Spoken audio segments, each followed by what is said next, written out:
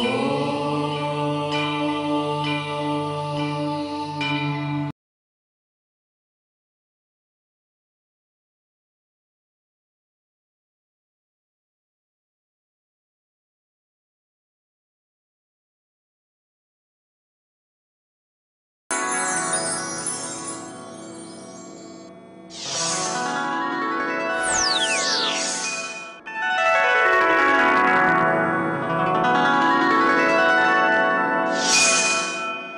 जय शनिदेव। प्रिय दर्शकों, मैं राजेश जोशी, आपका फिर से ज्योतिष जागृति केवल सत्य कार्यक्रम में स्वागत करता हूँ। प्रिय दर्शकों, आज हम बात करेंगे जनरल रेमेडीज की। आपने सुना होगा, आपने देखा होगा, सब लोग गोचर को डिफाइन करके डरा रहे होते हैं, लेकिन कोई भी आपको रेमेडीज बताना ज़रूरी नहीं समझता। रेमेडीज का मतलब ये नहीं होता कि आपकी जेब में भारी भारी कम रकम हो या बहुत पंडित जी आके बैठकर हवन पूजन करेंगे या कुछ ऐसा होगा, तभी जाके आपका ग्रह की शांति हो पाएगी। अगर सही मायने में देखा जाए तो रेमेडीज करने की सिर्फ़ नीयत चाहिए रेमेडीज एक दो रुपए से भी हो जाती है।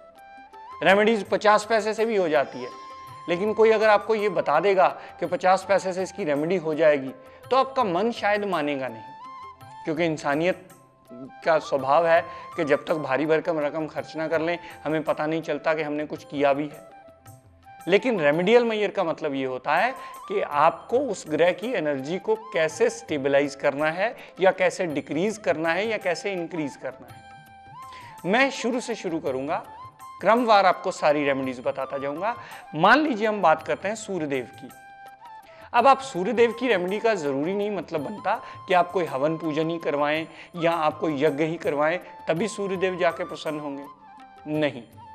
आप सूरज को, अगर आपकी कुंडली में मारक है, किसी विद्वान से कंसल्ट कर लीजिएगा, आप डेली सूर्य को जल दे करके या सूर्य को प्रणाम करके भी सूर्य को शांत कर सकते हैं। ये आपके बस में, इसमें लगता कुछ नहीं है, पाँच पैसे भी नहीं लगने, लेकिन करना आपने है रोज़ाना। डेली नियम से रूटीन बना के कीजिएगा, जल दीजिए सूर्य को।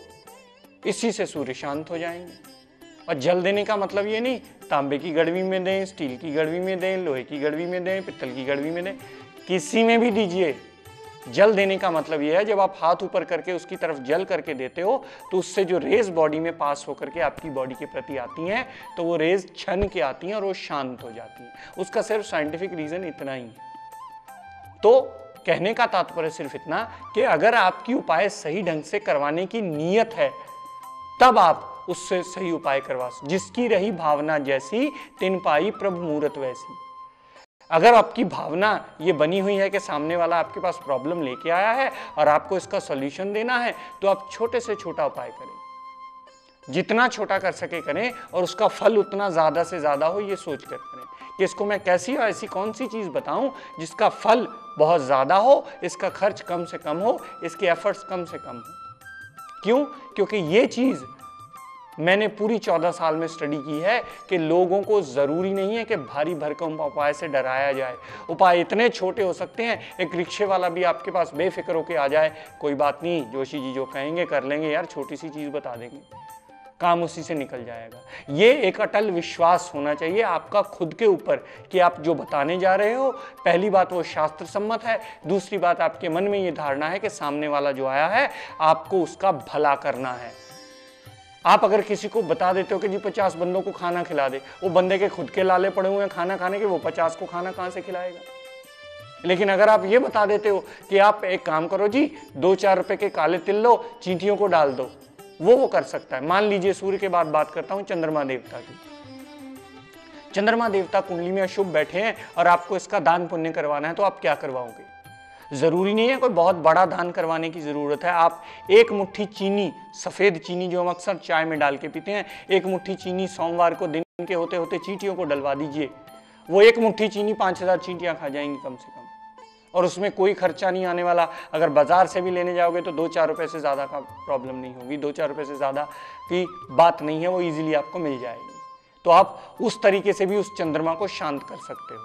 पाठ करना हर ग्रह का अनिवार्य है। जिस ग्रह की दशा चल रही है, उसका तो ज़रूर कीजिए। चाहे वो अच्छा हो, चाहे अगर अच्छा है तो और अच्छा होगा।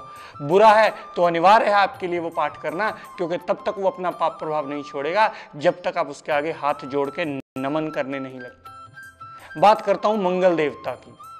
मंगल देवता, बहुत ही क्रूर ग्रह। पापी नहीं, क्रूर वर्ड यूज़ किया मैंने। ध्यान देना दर्शकों इस बात पे। पापी नहीं, आता देवताओं में है, लेकिन सिर्फ़ क्रूरता इसलिए है क्योंकि अग्रेसिव है। इसलिए इसको क्रूर कहा जाता है। पापी नहीं, ध्यान से। अगर एक मुट्ठी शक्कर लेके चींटियों को डाल देते हो मंगलवार को तो मंगल देवता इससे शांत हो जाएँगे। ज़्यादा से ज़्यादा सवा पाँच, दस रुपए का, जितना दो रुपए का, पाँच रुपए का आशीर्वाद लेना हो, मंगलवार को प्रसाद लो, मंदिर चले जाओ, बजरंग बली को चढ़ा दो, इससे मंगल देवता शांत हो जाते हैं। दो चार रुपए का सिंदूर लो, दो रुपए का, चार रुपए का, छोटी सी शीशी ले लो, दो रुपए की भी। थोड़ा सा उसमें सरसों का तेल मिला करके या मीठा तेल मिला करके उनकी मूर्ति को लगा दो, बजरंग बली को, इससे बजरंग बली शांत हो जाएँगे। जितने मर्ज़ी पाप प्रभाव में वो शांत ज़रूर हो जाएँगे। बुद्ध देवता ज़रूरी नहीं है कि अपने वज़न के मुताबिक पट्ठे डालोगे गौओं को खिलाओगे, तभी बुद्ध देवता शांत होंगे। नहीं। एक दो चार रुपए की पेंसिल लेके किसी कंजक देवी को दे दोगे उससे भी शांत हो जाएँगे। एक पाँच रुपए का बाजरा लेके छत पे डाल दोगे, उससे भी शांत हो जाएँगे। बात, एक क्लोरमिंट की ग्रीन टॉफी लेके चींटियों को डाल दोगे, उससे भी बुद्धदेव शांत हो जाए। बात, आपकी भावना की है कि आप किस भावना से उसे ले रहे हो और उसका कम से कम खर्चा करा के ज़्यादा से ज़्यादा फल देने के काबिल बना रहे हो। बात करता हूँ बृहस्पति देवता की। बृहस्पति देवता के लिए भी शक्कर आप दान कर सकते हो। एक मुट्ठी शक्कर ली, चींटियों को डाल दिया। ज़रूरी नहीं है। किसी गुरु को बहुत बड़ा दान देना है, कपड़े लत्ते देने हैं, खाना खिलाना है, तभी गुरु ग्रह शांत होंगे। नहीं, एक मुट्ठी शक्कर चींटियों को डाल दो, केले के वृक्ष को जल दे दो। पाँच चार हनुमान चालीसे या कोई धर्म ग्रंथ की छोटी मोटी पुस्तक जो आप अफोर्ड कर सकते हो, वो लेके धार्मिक स्थान पे दे दो, इससे गुरु ग्रह शांत हो जाते हैं। ये समझने वाली बात है कि आप करवाने क्या वाले हो उस जातक से जो प्रॉब्लम लेके आया है।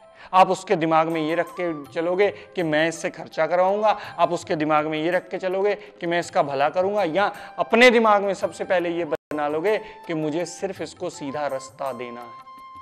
रिज़ल्ट आपको सीधा रास्ता देने से ही मिलेंगे। कोई बंदा त्रिकोण के पीछे पड़ा हुआ है, कोई काल सर्व योग के पीछे पड़ा है, योग को भी दोष लिख लिख के लोगों को डराई जा रहे हैं। कोई गोचर के पीछे पड़ा हुआ गोचर ऐसा होगा तो वैसा होगा। जबकि एक भी कुंडली पर वो गोचर अप्लाई नहीं होगा। आप लाखों कुंडलियाँ उठा के देख लीजिए, क्योंकि हर कुंडली में लगन लॉर्ड और ग्रहों की डिग्रियाँ, नक्षत्र, स्वामी, चरण, षडबल, नमाश, सब अलग अलग होगी। वो सिर्फ़ बोलते चले जाएँगे गोचर, और आम आदमी के बिल्कुल समझ में नहीं आ रहा ये क्या बोल रहा है बंदा बैठा हुआ। शुक्र देवता को शांत करना हो, आगे बढ़ता हूँ। शुक्र देवता को शांत करना हो। ज़रूरी नहीं, क्योंकि बहुत बड़ा ही उपाय कराया जाए, हीरा ही दान करवाना है किसी से। नहीं, एक मुट्ठी चीनी लेकर के ये भी सोमवार की तरह चींटियों को डाल दोगे, शुक्रवार वाले दिन इससे भी शुक्र शांत हो जाएँगे। एक दस, बीस या तीस रुपए की करियाने की दुकान से छोटी सी इत्र की शीशी लेकर के भी किसी को दान दे दोगे, इससे भी शुक्र देवता शांत हो जाएँगे। एक धूफ, अगरबत्ती का पैकेट लेकर के मंदिर गुरुद्वारे में चढ़ा दोगे, इससे भी शुक्र शनि दोनों ही शांत हो जाएँगे। शनिदेव को शांत करना सबसे आसान काम, जबकि सबसे ज़्यादा डराया जाता है, सबसे आसान काम है शनिदेव को शांत करना। पीपल को जल दे दो, सादा एक गिलास पानी लो, पीपल को जल दे दो, सबसे उत्तम तरीका है उसको शांत करने के लिए। हाथ जोड़ के प्रणाम कर दो शनिदेव, कृपा दृष्टि बनाए रखो।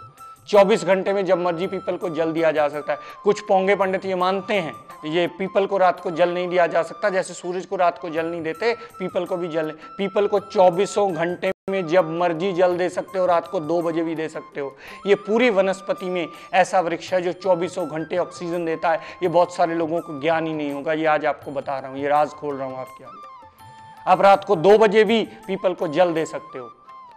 पीपल क्या कहते हैं ना, वो डराने के लिए बच्चों को पीपल पे चुड़ैल रहती है। क्यों? क्योंकि वो चौबीसों घंटे जागता रहता है वृक्ष। वो कार्बी कार्बन डाइऑक्साइड छोड़ता ही नहीं है। वो सदैव ऑक्सीजन छोड़ता है। पूरे ब्रह्मांड में यही एक ऐसा वृक्ष है जो चौबीसों घंटे ऑक्सीजन छोड़ता है।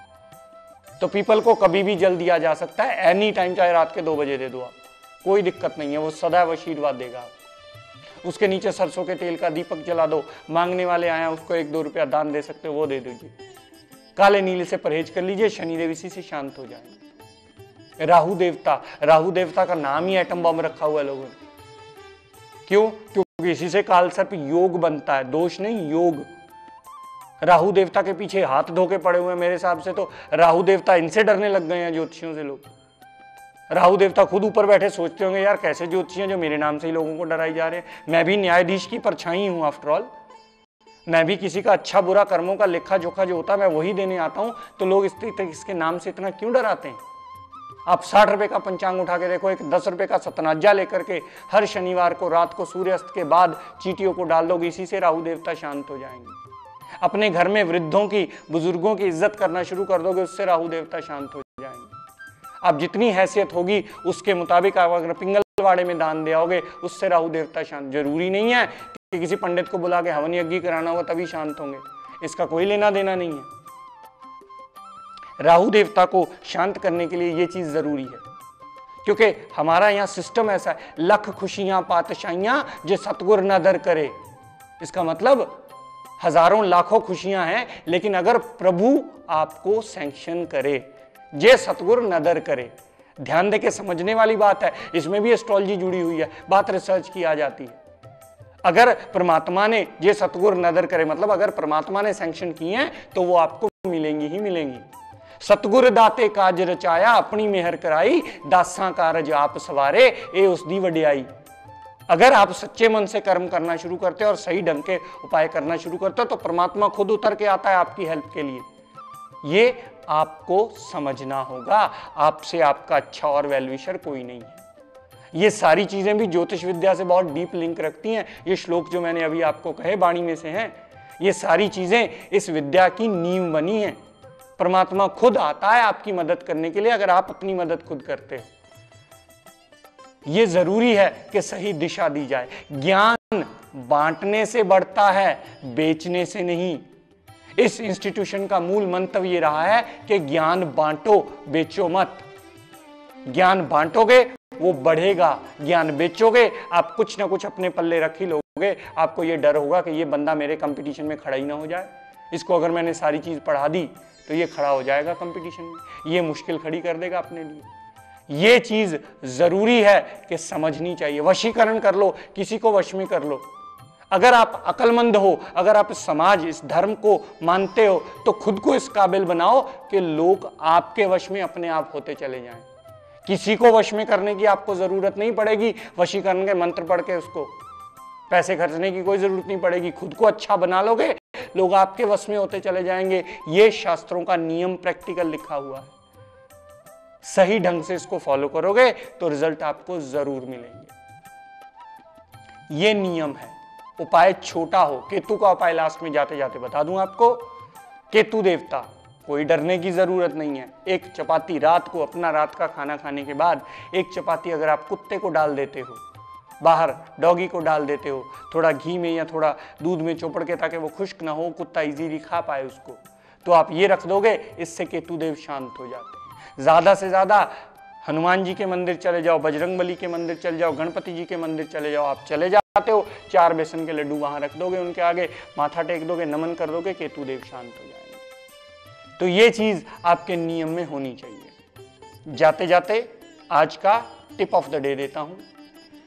कभी भी घर में जितना काला रंग कम कर सको, उतना अच्छा।